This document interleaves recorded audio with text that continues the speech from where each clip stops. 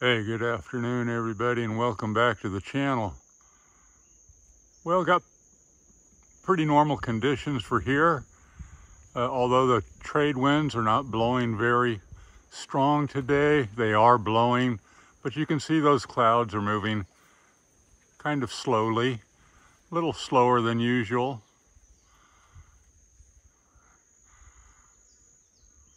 All the reasons why the Victron charge controller is a must out here. So I do get asked quite a bit about uh, why I use Victron Energy Smart Solar Charge Controllers. And I'm going to show you why, and hopefully I'll get a good demonstration watching it live. Although, like I said, the clouds are moving kind of slow today. Usually they're zipping by really um, quite quickly under normal conditions. Now the first MPPT charge controller that I used was this EP Ever. Uh, this is a 40 amp charge controller and it worked well, but it would not keep up under these kind of quick changing conditions. And it would start to throttle down long before uh, the batteries were fully charged. So then I eventually made the switch over after uh, trying to get these to work for my conditions. Now they did, I used two of these and they actually did work quite well, but only under that real sustained sunshine, not with a lot of intermittent clouds rolling through.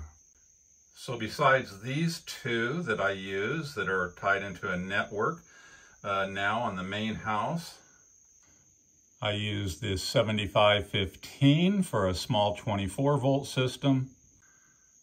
I use the 130 for another 12 volt system. Now on that 24 volt system, I've just got 300 watts of panels. On this one, I've got 500 watts of panels uh, tied into this. And then I use the 150-35 for a 48 volt system with 700 watts of panels coming in.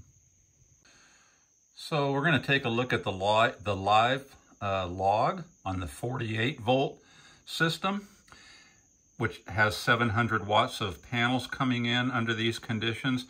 And even though those clouds aren't moving as briskly as normal, look at how that wattage changes. I'm gonna just let it run here for a minute so you can see it live. But it's all over the place, right? Because these clouds are moving through, the sun bursts through a little bit. And look how fast this MPPT from Victron keeps right up. And this makes a huge difference in the amount of power I will get all day long. And you can see now, you know, there's a cloud rolling through, 700 watt arrays dropping way down. Here it comes back up and it just, it just keeps up with the, the fast moving conditions out here, which at the end of the day makes all the difference for how much power I can get into my battery. So even under these cloudy conditions, fast changing conditions, uh, the Victron just keeps right up. Where the EP Ever that I used to use, and you can see on some of my earlier videos, I struggled with it all of the time, uh, trying to get the batteries up to full. It would start to throttle down uh, at the first uh, burst of sun that might push it up into an, uh, an absorption voltage.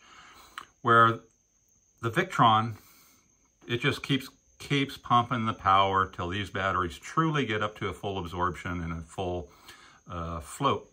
So there you go, that's live. Now under fast moving conditions, this thing's all over the map real quick, but it all adds up. And here's a look at that 100 volt 30 amp charge controller. Now it, it allowed all the power to come in just as quick as possible. And now it's allowing zero watts in. And, and why? Because you can see I'm in absorption and it's just taking zero watts to hold it at 14.2 for its two hour absorption phase. So again, even under these conditions, it had no problems uh, getting that battery full today. Now it wasn't drained very far either, so there's that to be said. But um, you're starting to get the idea why I'm using these Victrons.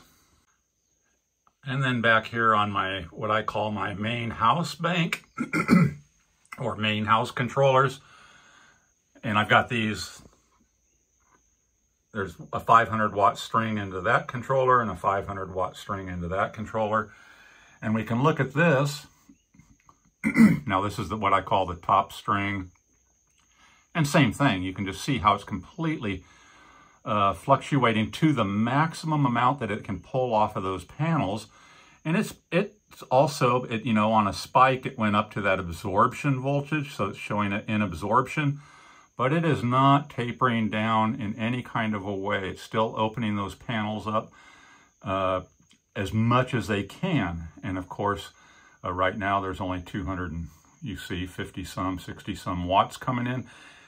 And as soon as that sun gets a little bit more visible on those uh, arrays, it'll jump right back up and, and push this up to 14.2, where that EP Ever, which is ever since I introduced the uh, Victrons, I haven't even taken it off the wall and it is disconnected.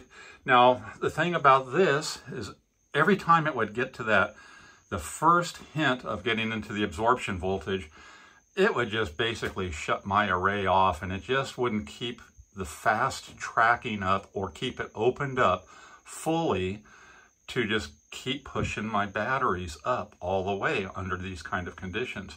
Now in a really sustained sunshine, uh, this worked just fine, but on these quick moving clouds in these conditions, it just couldn't do it. So as much as I liked the EP Ever, there's no comparison for these conditions. Now, your conditions may vary depending where you live, but what I just showed you is basically a normal condition out here. Yeah, so there it is. Just, you know, now, like I said, if, if, if the trade winds were blowing up at their 20 to 30 miles an hour up high, those clouds would be ripping so fast you could see this go down to 100 watts and up to 500 watts in just like a millisecond. I mean, it's so quick that it really keeps up. So, you know, here's my voltage now at 13.79. It wants to go up to 14.2 and hold it at that absorption for the, the two hours that it's programmed to do. And it is absolutely letting in the maximum amount of power it can get off of those solar panels. It's not throttling down at all there it goes. You know, it's ready to go up to 300 and some. It's ready to go higher than that if the sun's out and the clouds aren't shading those panels. And then you can see the voltage quickly starts coming up closer to 14. So now if it would open up to 500 watts, this would jump right up to 14.2, which is recognizes as absorption. So yeah, I hope that kind of clears it up why why I go with these is because, especially here, uh, there's just no comparison on the controllers.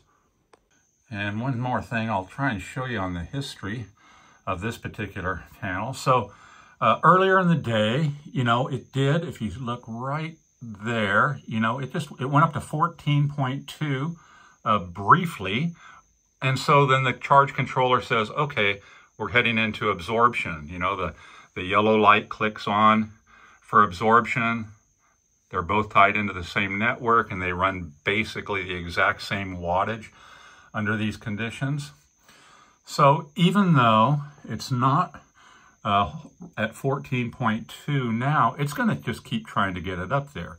And that EP ever, once it initially saw a 14.19 or a 14.2, it would just taper those panels off to just a disappointingly low amount of uh, power and it, and it wouldn't push it the rest of the way. So, yeah. And then you can see there, 14 volts. It's still trying to get it up to 14.2. And it just changes wildly and quickly just due to those fast breaking conditions. And another quick look at the 48 volt battery, and there you go. Look, now those panels, of course, when they're under shade and then the sun comes out, it's actually producing a little more than the 700 watt string. Now, as that sun hits it, it will quickly drop back under 700 watts, but once again, the Victron opens up the maximum amount of power to try and get these batteries up to what they are set to be uh, charged at. So there, I'm actually overproducing the rating of the array by just a few watts, but 700 watt. And then there, the sun's warming those panels up. Still under full sun, going down a little bit, but wide open, just wide open. So the panels are doing their job under full sun. You know, they just they're just putting out what they need, but it's the charge controller. It's the charge controller. I mean, you want a charge controller, especially with lithium iron phosphate. You know, let's charge them up full throttle. Uh, the charge controller will shut the panels down when you're full, and especially when you go into float, and then it can shut the panels off. But until that lithium iron phosphate is fully charged, I don't want to be throttling down in any way. And like I said, and as you can see, those clouds aren't zipping along. And those of you that have watched this channel long enough to know a lot of times when I'm showing those clouds, they are cruising by. Now today, trade winds very slow up there, but it, you know, it still makes a difference. Yeah, that MPPT, that's the way to go. And that's why I stay with Victron. And that's why I'm going to stay with Victron because otherwise I was just not getting up to where I wanted to be. And now, even under these conditions, I get up to where I want to be. And then that's not even to talk about wintertime when uh, we can get some really dark days and that thing, uh, those Victron charge controllers, even under low light, uh, do way, way better. So anyway, I've had a couple of questions about that. It's a beautiful day here, a little warm because those trade winds are not blowing so strong and it warms right up. Uh, I know I'm not going to get much sympathy from you guys on the mainland, but we're bumping about 82 degrees right now.